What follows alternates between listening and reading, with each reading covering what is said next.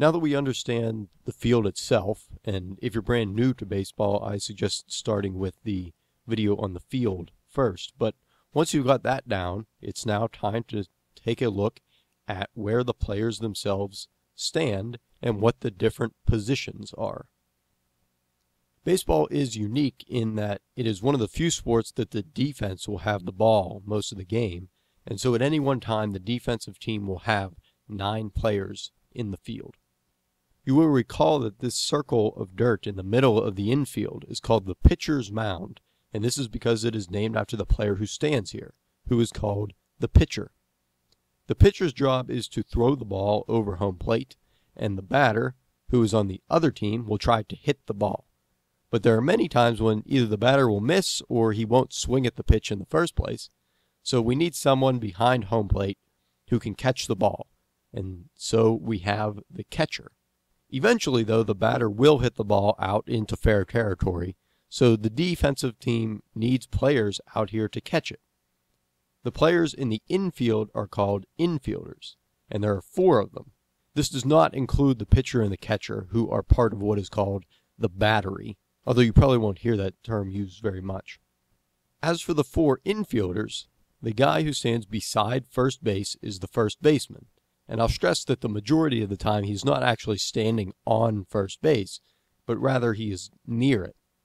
The guy to the right of second base is the second baseman, and the guy by third base is the third baseman, which leaves us the guy who's on the left side of second base, and this is the shortstop. So these are our four infielders, and the first and third basemen are called the corner infielders because they're outside on the corners, and the second baseman and the shortstop are in the middle, so they are called the middle infielders.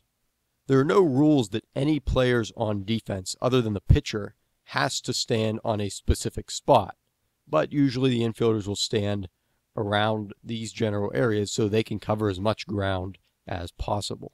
Our final three players are the outfielders, who, as you may have guessed, stand in the outfield.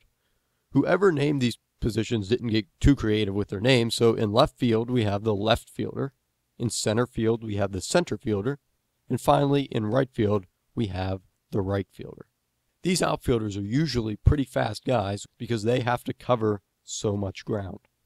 At the beginning of each game, the managers for both teams, and manager is just what a baseball coach is called, will write down the list of nine guys that will be playing that day in what is called the starting lineup. This will include two things what position each guy will be playing and the order that the nine of them will bat in.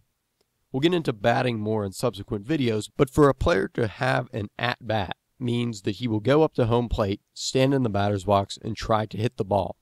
And the nine players on the team will have to go up to the plate in the same order each time. When they get through all nine guys, they just start again at the top. Players can switch positions at any time during the game, but they cannot switch the order in which they bat. Baseball does allow substitutions, but if another player bats or plays in the field in your place, you cannot come back into the game after that, so you are done for the day.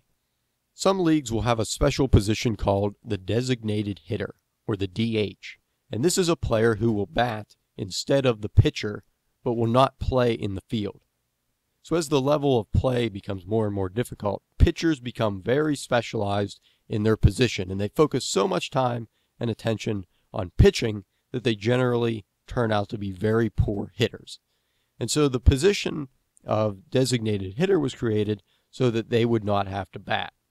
Some people like the DH, other people hate it. But within each individual game, either both teams will use it or neither one will. So things are even during each individual game. So speaking of offensive players, where do they stand on the field?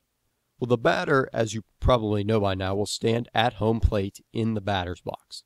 If he succeeds in what he's trying to do, the batter will become a base runner and will then stand on or nearby one of the bases. For example, we would say that this guy is on first base.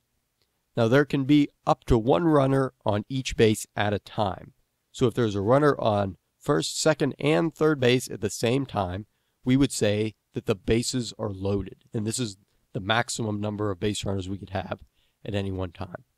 Other members of the offensive team who will be on the field are the base coaches, and there will be two of them, one by first base and the other by third base.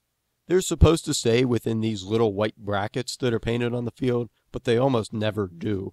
And although since they stay out of the way, nobody ever seems to mind. These coaches are an extra set of eyes for the base runners. So if a base runner is running from second to third base, his base coach can be looking at the ball in right field and yell to the runner whether he should stop at third base or keep running to home plate. The final guys on the field are the umpires, who are baseball's version of the referee. There are usually four umpires during a game, one for each base and home plate. In lower leagues, like if you go to a local Little League game, there will probably only be a home plate umpire and one umpire in the field. Though. The final thing I wanted to throw in are two more terms that you might hear. So while the batter is up, the next guy in the batting order will be on deck. And to be on deck just means that he is the next batter. Usually this guy will be in the on deck circle swinging his bat and getting loosened up for his time at the plate. The guy who will bat after the guy who is on deck is said to be in the hole. So a quick recap of the defensive positions. The battery of the pitcher on his mound and the catcher behind home plate the four infielders, the first baseman, the second baseman who is to the right of second base, the third baseman, and the shortstop who is opposite the second baseman, and the three outfielders, the left fielder, the center field, and the right fielder. So those are the baseball positions. Thanks for watching.